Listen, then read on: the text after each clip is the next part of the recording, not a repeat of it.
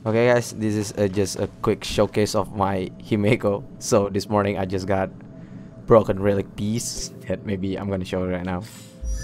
First of all, okay, you see my my Himeko stats right with 50% crit rate and 112 crit damage.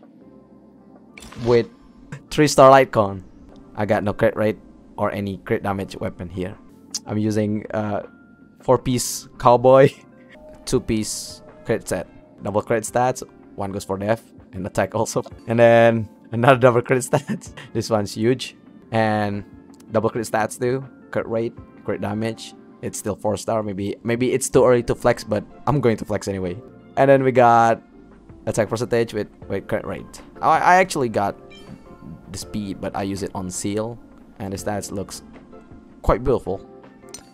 And then we got break effect uh, because it's Himeko she needs to break a lot of enemies then. We got double crit stats, but unfortunately it, it comes to HP like two times. And this is fire damage boost with crit rate, crit damage, and break effect. You know guys, I, I, I rolled many artifacts in Genshin Impact and maybe you know I'm a bit of lucky myself in Genshin Impact, but when it comes to this this game, I think uh I bought the luck. I, I, will, I will showcase my damage later, but you see, I just want to flex the the stats first. Okay, that's all, guys.